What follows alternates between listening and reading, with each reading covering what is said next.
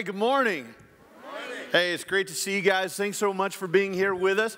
I would have just come back to this service. I've been to all the services, was here for a rehearsal. I'd have come back just for the music. That's how good it was. Can you help me say thank you to these guys? Yeah. It's good, good messages there. Hey, if you're online, thanks for being here with us. Uh, today we are in our second week of a series that we're doing on Ruth. And it is an absolutely fascinating series. Like, I would tell you that Ruth is one of the most fascinating books in the entire Old Testament. There are 39 books in the Old Testament. If you look at Ruth, if you were to read all of them, and I was going to ask you the question hey, does something not fit here? Does something not, like, if you just looked at it and took it at face value, does something not fit? You would have to look at me and say, you know, there's something peculiar about Ruth. And the reason that she's so amazing and the reason that she stands out is she's a Gentile, meaning she's not Jewish. And so if you're not Jewish, that makes you a Gentile. And what makes it so fascinating is, is if you go through and look at that period of history, God is a God of the Hebrews. He's a God of the Israelites. And the, the thing that's missing is like the Gentiles. Like he's establishing who he is through a nation and yet you've got a Gentile woman in a book dedicated to her, and you're like, what on earth is she doing there? And so I just kind of want to talk about what Ruth's doing there for just a few minutes because Ruth's presence during this period of time is telling us something. And what it's telling us is, is that from the beginning, God was thinking about you.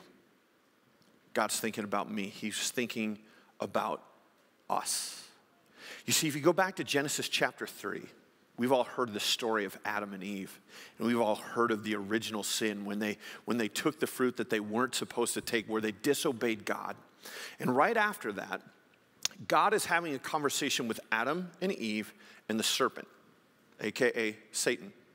And he looks at them and he looks at the serpent and he says, I will put enmity between her offspring and you.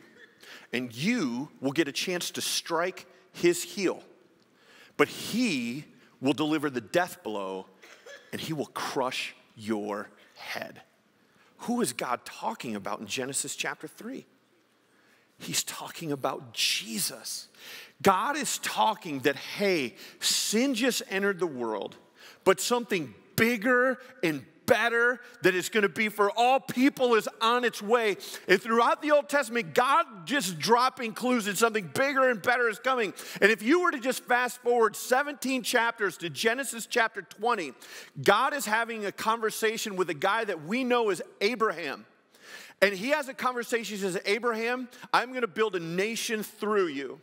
And through your life, through your offspring, Abraham, I'm going to bless all nations. Well, if you look at the Old Testament, God is a God of the Hebrew nations, but in Genesis chapter 17, he's like, Yeah, but my plan's bigger than this. For I'm going to bless all nations, including not Jewish people, including Gentiles. And that's why Ruth is there, because she is a Gentile and she's just fitting into God's greater narrative that tells us he was always thinking about you. He was always planning on us being a part of God is that good. And that's why we're looking at Ruth, because if you look at Ruth, Ruth is a foreshadowing that we're going to be included, just Gentiles be included in God's plan. Ruth, in the story of Ruth, we see foreshadowings of Jesus. And we get to see through Ruth, as when we get to chapter four, we're going to actually get to see that it's actually through Ruth that Jesus comes. I mean, she's a part of the Christmas story, which is why we're looking at this. Last week, we started in chapter one. And if you remember, I told you last week that Ruth is a redemptive story. And what do all redemptive stories have in common? They start off feeling like, and that's exactly what happens in chapter one.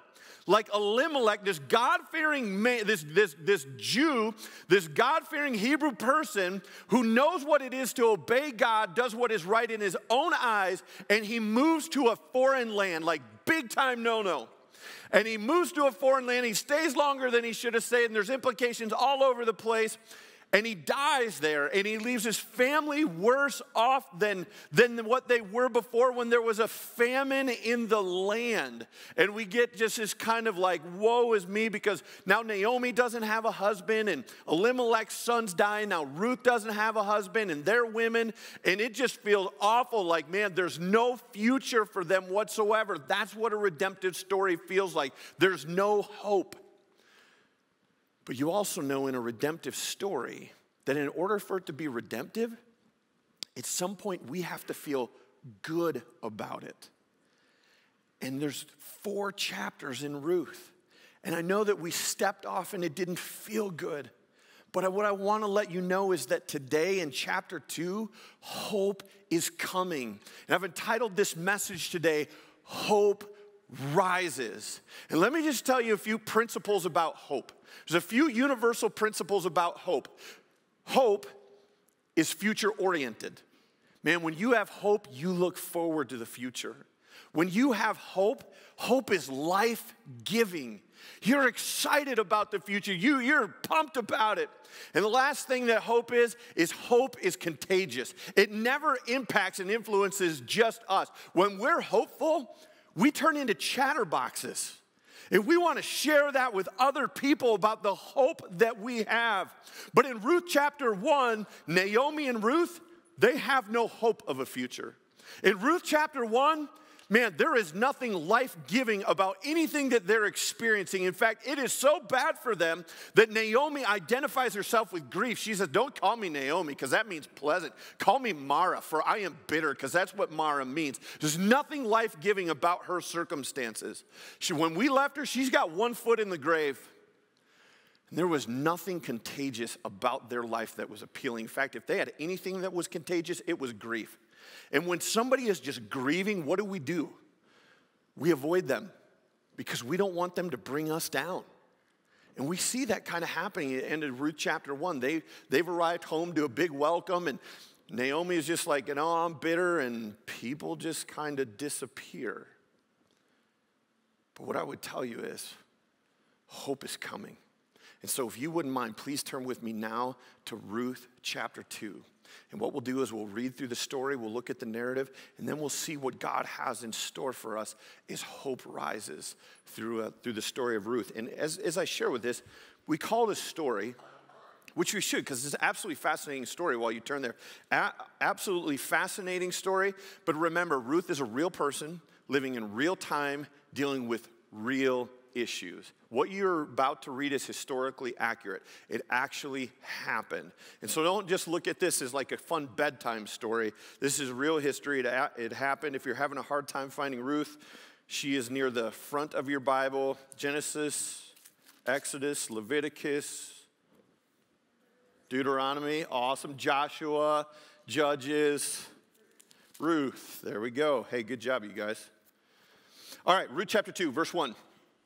Now, Naomi had a relative on her husband's side from the clan of Elimelech. He was a man of standing whose name was. Now, Ruth the Moabitess said to Naomi, All right, hey, I'm gonna go to the fields and I'm gonna pick leftover grain behind anybody in whose eyes I find favor.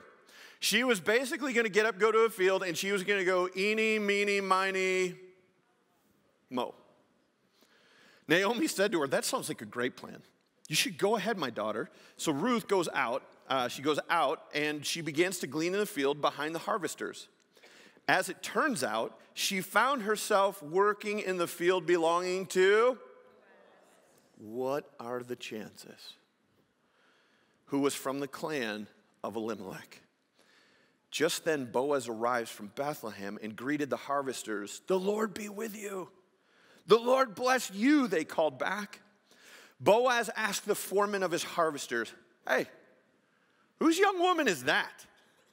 The foreman replied, She is the Moabitess who came back from Moab with Naomi. She said, "Please let me glean in the let me let me glean and gather among the sheaves behind the harvesters." So she went into the field and worked steadily from morning until now, except for a short rest in the shelter. So then we clearly see Boaz goes from asking about Ruth to speaking to her, because in verse 8 we see that Boaz says to Ruth, My daughter, listen to me. Don't go and glean in another field, and don't go away from here. Please stay, stay here with my servant girls. Watch the field where the men are harvesting and follow along after the girls. I've told the men not to touch you. And whenever you are thirsty, go get a drink from the water, water jars and the men that the men have filled. At this, Ruth bows down with her face to the ground, and she exclaims, Why?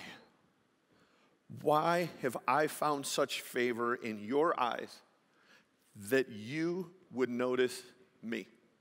a foreigner. And Boaz looks at her and he replies, I've been told all about what you have done for your mother in law since the death of your husband, and how you left your father and your mother and your homeland to come and live with the people you did not know before. And then Boaz says, May the Lord repay you for what you have done, and may you richly be rewarded by the Lord, the God of Israel, under whose wings you have come to take refuge. May I continue to find favor in your eyes, my Lord. She said, You have given me comfort and you have spoken kindly to your servant, though I do not have the standing of one of your servant girls. And at mealtime, Boaz says to her, Hey, why don't you come on over here and have some bread, dip it into the wine and vinegar? When Ruth sat down with the harvesters, he offered her some roasted grain. Ruth ate all that she wanted and had some left over. And as she got up to glean, Boaz gave orders to his men even if she gathers among the sheaves, do not embarrass her. Rather, pull out some of the stalks for her from the bundles and leave them for her to pick up. And do not rebuke her. So Ruth gleaned in the field until the evening, and then she threshed the barley she had gathered, and it amounted to about an ephah. She carried it back to town and her mother in law saw how much she had gathered, Ruth also brought out and gave her what she had left over from lunch that she had not eaten. Her mother in law asked Ruth, Where did you glean today? Where did you work? Blessed be the man who took notice of you, Ruth. Then Ruth told her mother in law about the one at whose place she had been working. The name of the man I work with today is the Lord bless him, Naomi said to her daughter in law, for he has not stopped showing kindness to the living and the dead. And she added, That man is our close relative. He is one of our kinsmen redeemers. That word kinsman redeemer doesn't mean a whole lot to us, but it meant a whole lot to Ruth and Naomi, and we'll talk about that in the days and weeks to come. Then Ruth the Moabitess adds on to that and said, He even said to me that I can stay with the workers until they finish harvesting all the grain. Naomi said to Ruth, her daughter in law, It will be good for you, my daughters, to go with his girls, because in somebody else's field you might be. Okay, those aren't thoughts that we typically think are okay to have in church, but here's what I would tell you. It is very dangerous for Ruth to be in some of these fields because the men may not be very respectful to her. And so allow your imagination to run wild with that for a minute, and that's what's staring Ruth in the face by just being in the fields. And so that's why you understand what the offer that Boaz is making her is just unbelievable. It's just awesome. It's too good to be true. So uh, she won't be harmed. Verse 23. Ruth stayed close to the servant girls of Boaz to glean the barley and the wheat harvest until they were finished.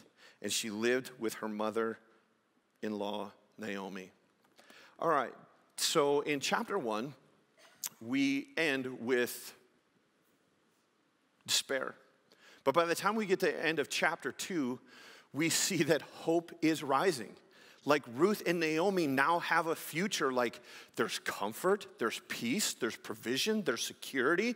Whoa, man, they have a future. Looks like hope's rising. Not only is there future, but it's life giving. They've got something to look forward to. They've been provided for. It's like, wow, can you believe this? And the last thing that we see is we see that hope is contagious. The last time we talked to Naomi in chapter one, she's like, God has cursed me. And now in round in verse 20, she's saying, wow, the Lord bless, bless um, Boaz. Man, what are we seeing here? We're seeing hope. How on earth did we go from despair to hope? Well, there's a couple things that happen, and it actually starts back in verse 1. Or, sorry, it starts back in chapter 1 where Ruth decided to make Naomi's God her God. She's situation didn't change, but that tiny decision is going to lead to the big dividend of hope. That's where it started. The second thing that led to hope for her is she got up and she went out to glean in the fields. Ruth decided to get up and go do something about her situation, which was to go out in the fields. And from a historical context, this is huge because long before Ruth needed to be in that field, long before, if you're wondering, like, why is Ruth go even going out to the field, is because that was God's plan.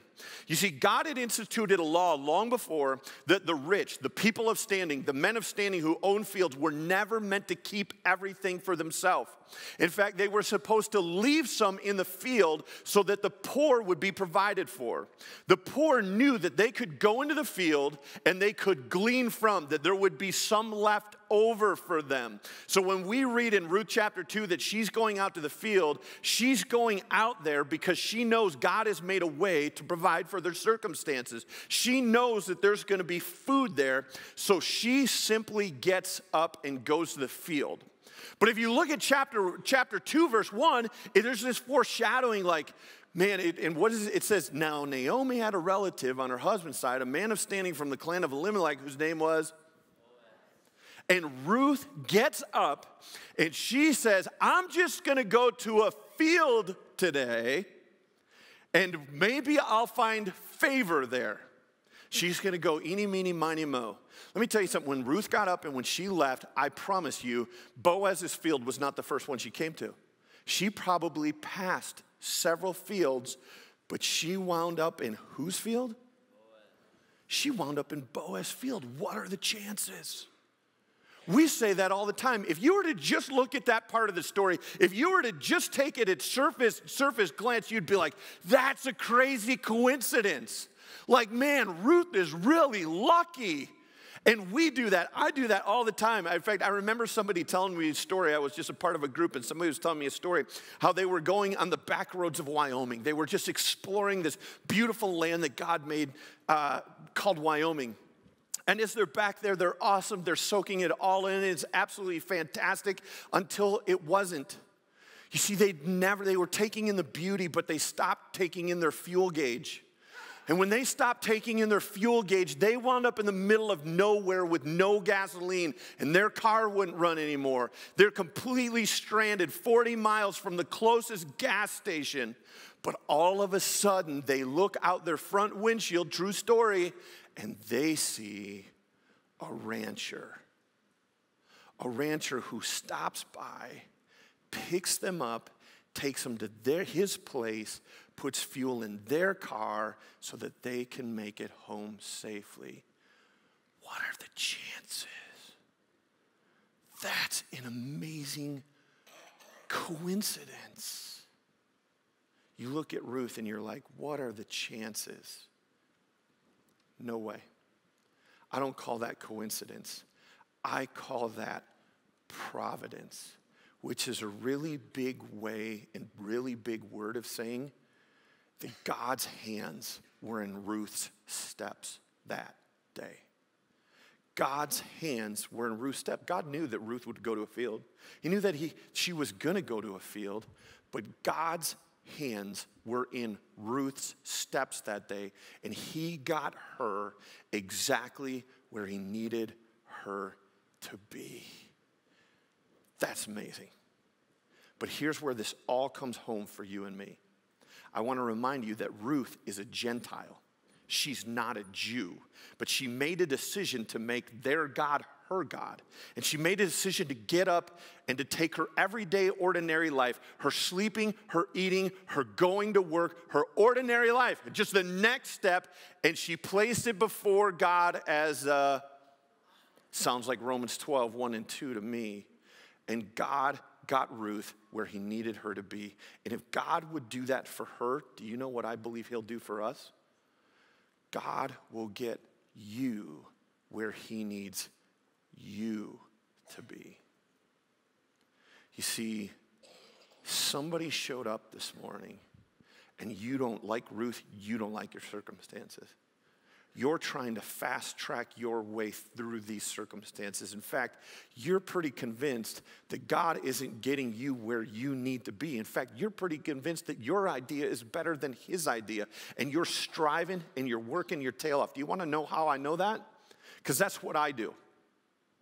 I try to always think that where I should be is where God really is trying to get me. But what I want to tell you is, is that he's God and you're not. He's God and I'm not. And if he can get Ruth where he needs her to be, then he can get you where he needs you to be. And here's the good news about that you can stop striving right now. And you can just take your everyday, ordinary life and do what comes next and say, God, here it is as an offering. And you can rest, you can trust that He is going to get you where you need to be. He's going to get you in front of the people that you need to be in front of. He's going to get you to the help that you need to be. Your job in that is to just say, okay, Lord, here's my day. I'll follow you. This is what I've got to do. And I'm going to trust that you are going to get me where you need me, need me to be. That is amazing freedom in that. And here's the best part that was just for the Christian folk. Now, I hope that there is somebody in this place that is skeptical about God. I hope that there is somebody here today that may not believe in God the way that some of the people in here do. In fact, I hope that you have friends who are distant from God and that you would bring them here. Because in this moment, in this story, we see the fullness of God's love. Because I want to remind you of who Ruth is. She is a Moabite woman. She is a Gentile, and yet God is working for her good. And so this morning, if you showed up and you're not sure what you believe, but you got here anyway, what I would tell you is there is not one detail of your life that God is not interested in. And he will use the good and he'll use the bad. He'll use all of it to show you how good he is. And so if you're far from him today, this is awesome that you're here because you're seeing that God is using somebody who doesn't really know the fullness of who he is, doesn't really know how to fully relate to him, and yet God is aware of her and he works for, for her good and his glory that somebody who was far from him would know him and how good he is. And if he would do that for Ruth, he will do that for you.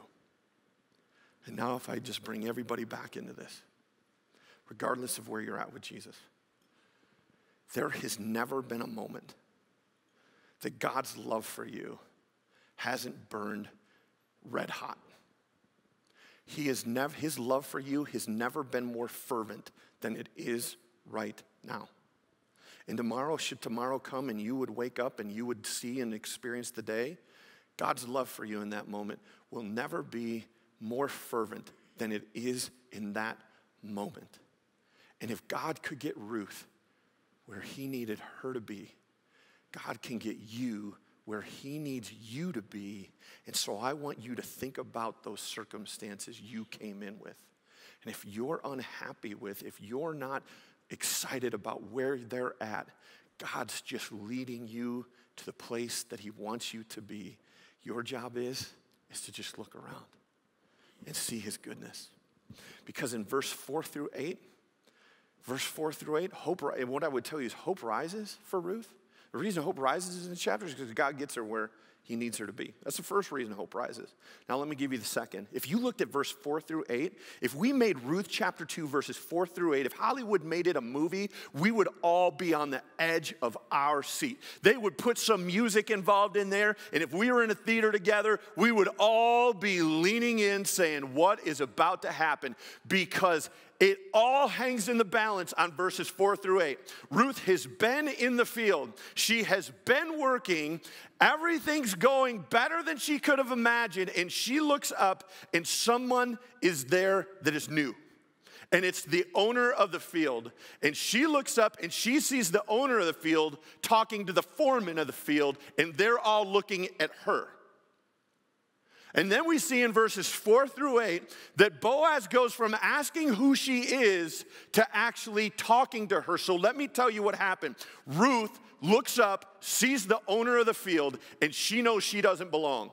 She knows she's a foreigner. She knows she doesn't have the standing of a slave. That's how low she is on the totem pole, that a slave has more rights than what she has being in that field. And the next thing she sees is the foreman is walking across the field towards her, and she's thinking to herself, this doesn't look good. It would be like you showing up for work, and you know and the, it'd be like you showing up for work, and the boss says, Hey, today at 3:30, I want to talk with you. But they don't tell you why. But you have just enough information to know ah, this might not look so good because you've been mistreating coworkers and you've been mistreating customers and you've been skipping meetings and you're thinking, when the boss says he's going to talk to me and 3:30 starts getting closer, you start feeling anxiety because you have just enough information to know this doesn't look good. Only when you show up to the meeting, rather than tell you how you've been underperforming, the boss goes and gives you a promotion. That's unbelievable. It's, it's unexpected. It, it's like so far fetched. It is too good to be true. So now let's go back to the story of Ruth.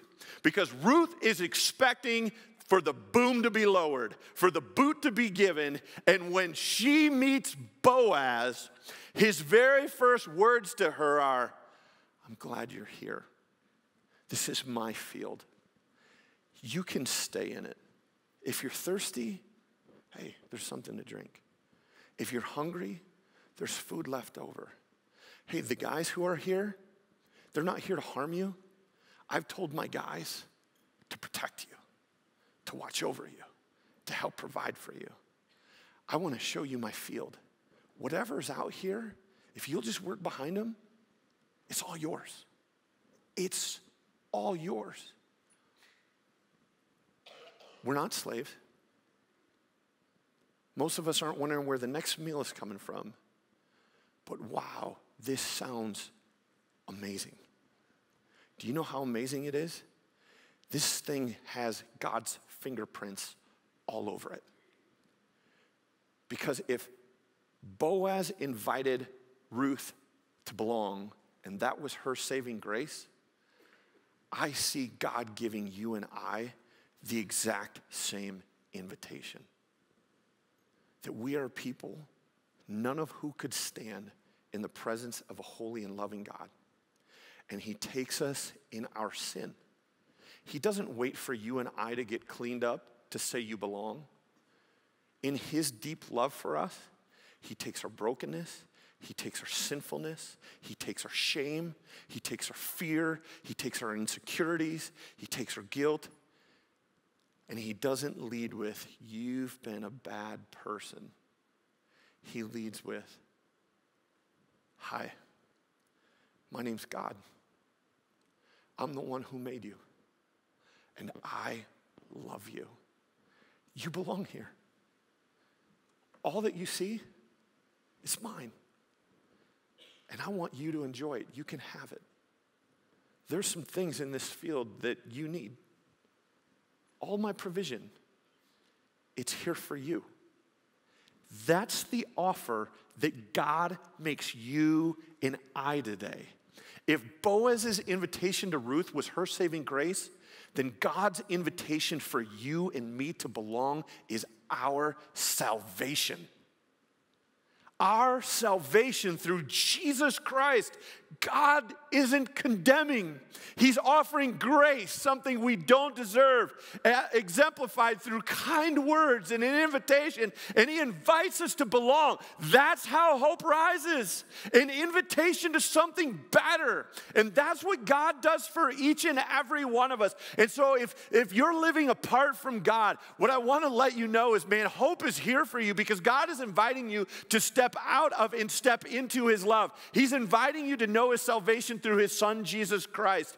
And today, what I would tell you is if you showed up and you're not real excited about your circumstances and you've forgotten how good God is, we're inviting you to receive from the Holy Spirit to know how good God's invitation is. And let me tell you how good Boaz's invitation was. It was so amazing. It was so life giving, Ruth couldn't form a word, but do you know what she could do? She could drop with her face to the ground and all she could all she could get out is thank you thank you thank you thank you thank you thank you thank you followed by i don't know what i did today to deserve this type of offer but thanks be to God and thanks be to you. That was her response face down, thanks be to God, thanks be to you.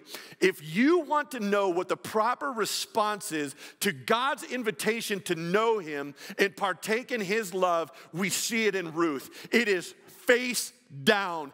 God, I don't know what I did today to deserve an invitation to know you, to belong to you, but thank you, thank you, thank you, thank you, thank you, because without you, this is who I am. And it doesn't add up. And Lord, are you sure you want to offer this to me? And He does. And the only proper response is face down. God, thank you for loving me for meeting my emotional needs, my spiritual needs, my physical needs. He takes care of all of it. How's hope rise? With an invitation to belong. And listen, we all want to belong. How bad do we want to belong? I'll tell you how bad. It might sound silly, but you dress a certain way so that you can belong to a group of people. You talk a certain way because you want to belong. Your hobbies, you like your hobbies because you like them, but you also want to belong with God.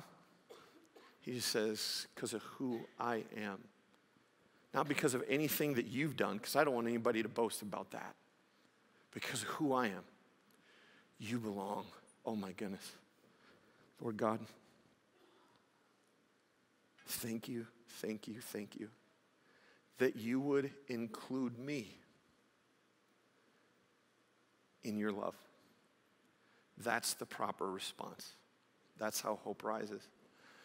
Which leads us to the third thing. It's a cliffhanger on some level because Ruth has to, she gets to either accept or reject his invitation. And that's the beauty about God is he extends himself to us, but he allows us to accept or reject? Well, we see that Ruth receives an invitation. And again, I told you that Ruth is a redemptive story with a foreshadowing of things to come, a foreshadowing of Jesus to come, a foreshadowing of God's love to include all people. And if you look at the new, so here's what I would say I would start with Ruth. If you see in Ruth chapter 2, Boaz invites Ruth to eat at his table. What analogies did Jesus use in the New Testament? Jesus spoke over and over about a banquet, about a feast, about inviting people to the table.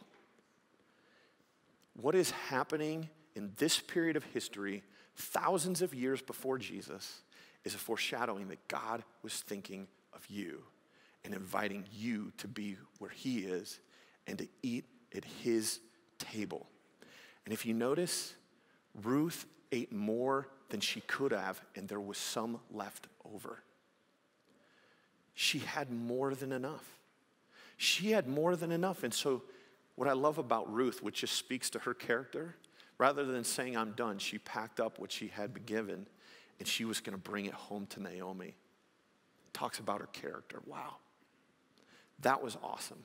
But we also see in the story that Ruth gleaned an ephah not really something we use to as measurement tools in our culture. But an ephah equated to 35 pounds. Put it this way Ruth was doing CrossFit before CrossFit existed. Because when that woman, however far she had to go from home, had to drag home 35 pounds of grain. That's what she's carrying that home. She had more than she could have ever needed or possibly used because she received the invitation. And here's where it all comes together for us. In the same way that God provided for Ruth, God provides for us. And that if you have God, you have more than enough. You see, you woke up this morning. You see, we live in a world that advertises us to tell us that we never have enough, that something's missing in our lives. But the story of Ruth is reminding us this morning if we receive his invitation through Jesus Christ, we have more than we could ever possibly use. We have more than enough. There's no way that Ruth could have used all that. Man, listen, hope's rising. They could sell that. They could sell that to buy oil, to buy more food. They could, they could sell that to make some money so they could go buy some, some cloth for clothes and whatever.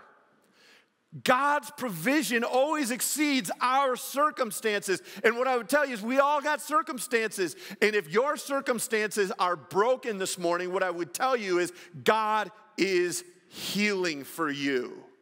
And He is more than enough. If you walked in here this morning without hope, what I would tell you is God is more than enough. He is hope that is bigger than our circumstances if we'll receive His invitation. And He wants to extend it to you. This morning, if you find yourself and you wake up, you woke up fatherless, you feel like an orphan. There is a heavenly father that is the best example for all of us earthly fathers to follow and how he cares for and he loves. And you have a heavenly father. You have not been orphaned.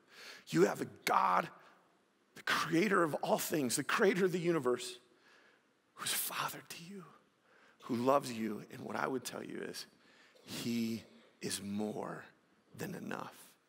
And because of that, hope rises. In Ruth chapter 2, we see hope being future oriented. We see it being life giving and we see it contagious. You remember in Ruth chapter 1 that Ruth left her homeland and her people and her gods because she saw something special about Naomi? Well, in Ruth chapter 2, it's a complete role reversal. Naomi begins to hope again because of how God has provided for her through Ruth. Meaning, if you have hope in a relationship with God through His Son Jesus, that hope will not only affect you, it'll affect and impact those that you love, those that you work with, as you speak of and as you share of His good love for you. Today, here's what I'm inviting each and every one of you to do. Each and every one of you. If God ordered your steps for some of you, what that means, if He's getting you where you need to be, man, He's getting you there for a reason. For some of us today, that means it's time to step into a relationship with Him and receive that invitation. But for others of us who have just kind of been going through the ho hum of what we think it means to be a follower of Jesus, and we're just trying to go through, we're just actually going through the motions. Really, what I would tell you is God's got you here today for a reason to remind you of the hope that is available to you in knowing Him. You walked in here not feeling like you had much, but you've been reminded today through His Spirit speaking to you that you have more than enough, that you are more than conquerors in Him, and I want you to live in that truth.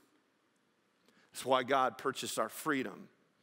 And so, hope rises through a personal relationship with Jesus Christ. And I pray that we would all step into that. Will you pray with me? Lord God, thank you so much for my friends who are here today. I thank you for your servant Ruth. I thank you for including us in your plans, Father.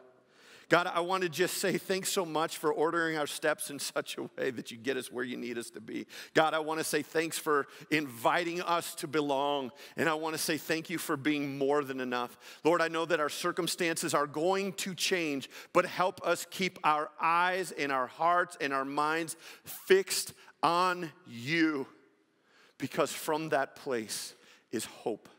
Thank you for your son, Jesus. We love you, God. In your name we pray. Amen.